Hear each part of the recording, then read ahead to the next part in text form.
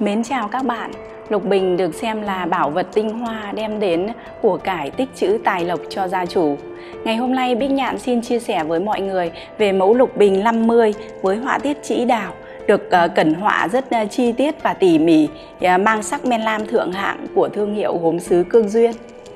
Với chiều cao 50 cm, đường kính thân 22 cm, đường kính đáy 14 cm. Với cặp lục bình như vậy, chúng ta có thể trang trí tại không gian phòng thờ, uh, sử dụng làm ờ, cặp lục bình tài lộc uh, để cắm một đôi sen gỗ hàng ngày hoặc vào những dịp lễ Tết quý vị có thể cắm những cành đào hoặc những bông dơn đỏ tô điểm thêm cho không gian phòng thờ của mình ấm cúng và trang nghiêm hơn các bạn có thể sử dụng cặp lục bình 50 để trang trí không gian phòng khách, tủ chè nhà mình. À, với à, kích thước cặp loại 50 à, như vậy, ta có thể à, cắm những cành hoa khô hoặc là những cành nông công tô điểm làm điểm nhấn cho không gian phòng khách nhà mình được sinh động và à, tinh tế hơn nữa.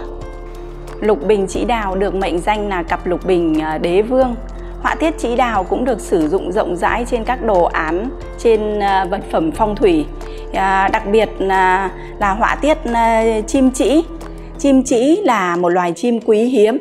mà là một trong 12 à, ờ, huy hiệu của bậc đế vương với đầu đội mũ à, trắng kiêu kỳ, à, đôi mắt tinh anh trong sáng với chiếc lông đuôi dài đậm mang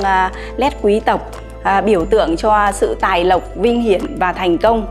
Đặc biệt ở đây với tác phẩm Lục Bình Chỉ Đào à, các họa sĩ của xưởng Cương Duyên đã vẽ tay cẩn họa chi tiết à, thành công một đôi à, chim trĩ biểu tượng cho tình yêu đôi nứa, sự thủy chung. Kết hợp với hình ảnh đôi chim trĩ là những ánh hoa đào đang đua sắc lở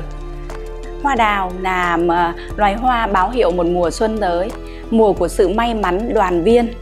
Thêm vào đó, cặp lục bình còn à, được à, chi tiết và à, khẳng định giá trị hơn nữa, đó là